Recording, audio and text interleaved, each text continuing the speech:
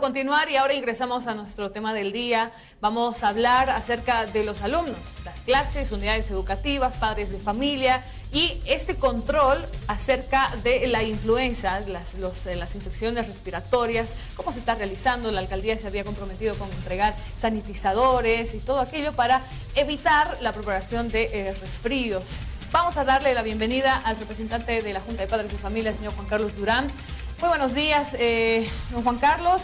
Importante este trabajo que realiza la alcaldía en entregar sanitizadores, eh, poder eh, también hacer la, fumigación respectiva en algunas unidades educativas, como estábamos hablando fuera de cámaras. ¿Cómo está? ¿Ya se han entregado estos productos por parte de la alcaldía? Muy buenos días, primeramente a toda la, la audiencia de tu prestigioso programa. Desde el anterior miércoles se ha ido entregando ya estos productos, como son los sanitizadores, y lo que son las fumigaciones en todas las unidades educativas. Eh, esto no va a ser rápido, va a ser mm, mediante un cronograma que ya lo tiene la alcaldía municipal. Lo más importante es arrancar el programa de lo que era el programa de lavado de las manos, que era muy importante. ¿Se ha hecho a tiempo todo esto, señor Juan Carlos? Mm. ¿Ha tenido un retraso? Ha habido un retraso, hay que ser muy sinceros. ¿Cuánta diferencia? Casi unas dos semanas de retraso hemos tenido. ¿Dos eh, semanas? dos semanas, es decir, eh, imagínese Recién el anterior miércoles han empezado a hacer la entrega de estos sanitizadores y donde ya la época fría empezaba a llegar y lo que sí nos empezó a alarmar a nosotros como padres de familia es el tema del BTH, de, la influencia H1N1 y obviamente eso nos tiene que llamar la atención y obviamente tratar de que esos filtros de seguridad que hemos sacado en las instructivas se cumplan. Realmente nos preocupa, en una unidad educativa hubo un caso eh, estábamos hecho el seguimiento correspondiente, ya ha habido la fumigación, ya ha habido lo que es una desinfección completa de esa unidad educativa, a la cual eh, las otras también merecen también ser atendidas. ¿no? Muy bien, el trabajo es por parte también de los representantes de las unidades educativas, pero también por parte de los padres de familia.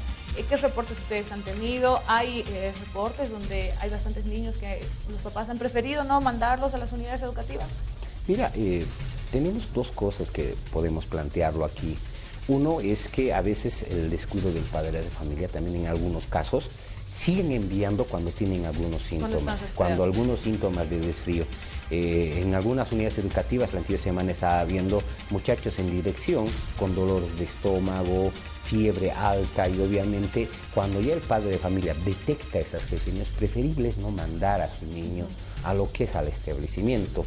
Y claramente lo dice la norma, si es por resfrío algo, tiene la licencia correspondiente. Es preferible evitar para que no haya más contagios más mayores y tengamos, digamos, una, una crisis sanitaria después, en un cierto momento, si hay un contagio general.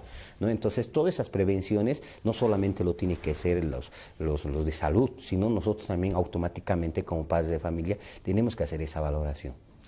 ¿Cómo está el tema del cronograma? 15 eh, días de retraso es muchísimo porque ya hay bastantes niños eh, con resfríos, los papás los han dejado ir. Recién desde el anterior miércoles se está entregando los, sanitizadores y todo aquello que tendría que haber sido hace 15 días. ¿Y cómo está el cronograma? ¿Hasta qué, cuántas semanas más va a durar para poder terminar toda esta entrega a las distintas unidades? Yo creo que en esta semana ya se va a hacer la entrega total a todas las unidades educativas. Eh, lo importante era ya el, el acto protocolar, como siempre se dice, que se dio el anterior miércoles en la Unidad Educativa Guido Villagómez. Y obviamente a partir de eso ya las unidades educativas seguro van a ser notificadas para que vayan a hacer el recojo de estos sanitizadores y obviamente ya empezar a tratar de prever todo lo que son estos temas, ¿no?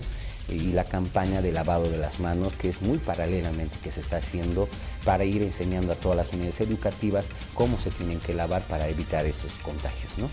A ver, hablemos un poquito acerca eh, con la población. ¿Hay eh, prevención contra la influenza? Ha sido nuestra consulta en nuestro sector. Vamos a conocer qué es lo que dice la opinión de.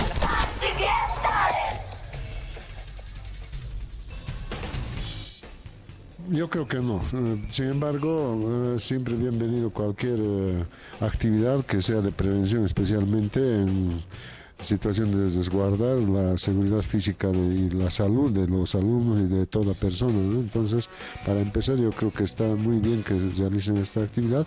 Para mí me cabe expresar mis felicitaciones a los que están gestionando o realizando este trabajo en bien de nuestros alumnos, más que todo en este establecimiento educativo. Sí, es como prevención Sí, pero lamentablemente ya está. El frío ya viene desde hace mucho tiempo. Los cambios de temperaturas está muy variada y no sé, desde mi punto de vista como prevención sí, pero me hubiese gustado si se haría realidad que hubiera sido más antes para prevenir esto. No, no puede ser muy factible ¿no? la fumigación porque no podemos ver qué tipo de resfríos pueden traer los, los mismos alumnos. Lo que deberían hacer y también tener, aparte de la fumigación, es que eh, tanto a los porteros de las mañanas y las noches les den apoyo a los directores para que ellos puedan hacer una limpieza general, lo de las mesas, las mesas más que todo porque hay niños que vienen, hay, jóvenes también que vienen a pasar clases, pero niños resfriados, alumnos resfriados, tose y pone la mano al asiento. Entonces debía hacer una limpieza profunda de los asientos en sí, con lavandina, en pocas palabras, porque la fumigación puede ser un rato.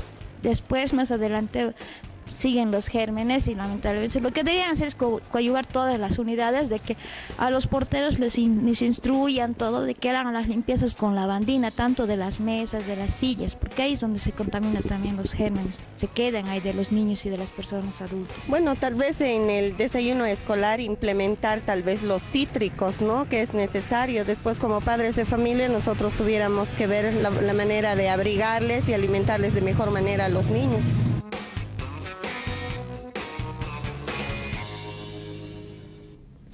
Hay un poco también de, descontento ¿no? con el tema de, las fumigaciones en las unidades educativas, tal vez debería haberse realizado antes, pero usted decía también el cambio de autoridades dentro de la alcaldía ha retrasado ciertos trabajos y bueno, hay conciencia, pero no, no de todos. ¿Cómo está haciendo la Junta de Padres de Familia para poder seguir recomendando a los padres eh, que no manden a sus hijos resfriados, que si ven por ahí algún síntoma, ya, esa es ya una buena alerta? Creo que el mejor trabajo es la de concienciación ¿no? a, la, a la población tratar de que se cumplan estos filtros de seguridad que son muy importantes, pero tampoco no es solamente eh, cuestión de decir a las autoridades, sino también nosotros como padres de familia dentro de nuestras, dentro de nuestras casas, tratar de recomendar que se abriguen, tratar que se protejan, que se cuiden, obviamente para evitar todos estos mm, contagios y obviamente posibles, ¿no? Es decir, en una campaña de salud creo que la campaña es de todos, ¿no? Ustedes como medios de comunicación, nosotros como padres de familia y las autoridades dándonos los insumos que son necesarios. ¿Tiene varios reportes ustedes de unidades educativas? Con bastantes alumnos con eh, infecciones respiratorias? Hasta el momento no todavía, pero hay sí, ya hay bajas de licencias, de como, como no es normal que tengamos uno o dos, ¿no? sino de cinco, cuatro, pero ya cuando es fuerte, digamos, el ausentismo, ahí ya nos tiene que llamar la atención a nosotros como autoridades. Y bueno, tampoco hay que preocuparse porque el 2 ya eh, iniciarían vacaciones. Según el calendario está para el 2 de julio.